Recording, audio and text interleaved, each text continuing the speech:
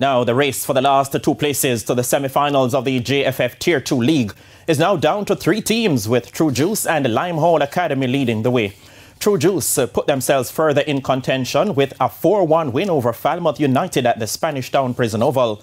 Javon Basco, Damian Herrera, Days Russell and Romain Hodman got the job done for True Juice, while Falmouth benefited from an own goal.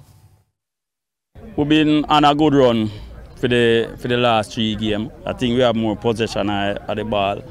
You know, we should have scored more goal, but you know, we give thanks for the victory.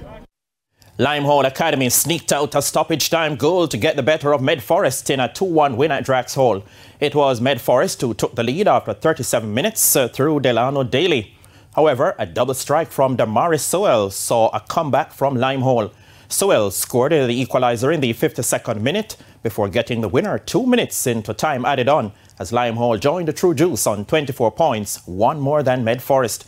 Early qualifiers, Treasure Beach didn't see any action on the day as uh, match officials were a no-show for their game against Hopewell United at the Breads Sports Complex. We were here until 3.45. I got a call stating that the match will be rescheduled due to miscommunication between the referee and their personnel. I'm not sure of the persons, but there was some miscommunication.